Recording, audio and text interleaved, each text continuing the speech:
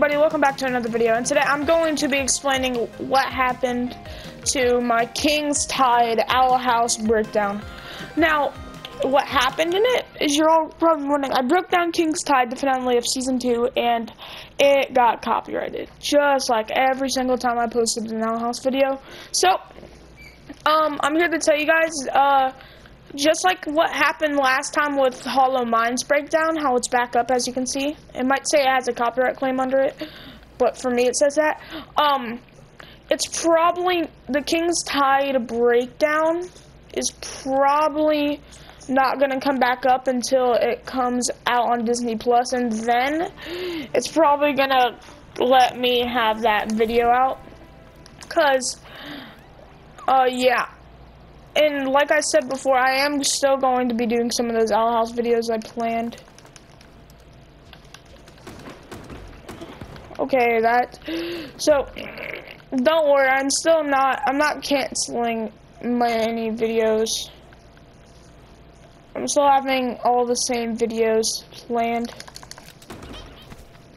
So, don't worry, I will, um, I have videos already planned and it might not be so top 10 Owl House favorite characters might still happen if I don't get so this all really depends if I get copyrighted again. So I'm probably not gonna actually post much Owl House until it's all on Disney Plus. But still, no, I will be breaking down season three whenever I get the chance and I don't get copyrighted. Because, like I said earlier, what happened with Hollow Mind, it came back up when it was on Disney Plus. So, if and only eight people got the Sea King's Tides breakdown. So, uh, I and it is a really good one. Especially, well, as you all know, the collector gets revealed. So I will, um, get that back up eventually once it's on Disney Plus.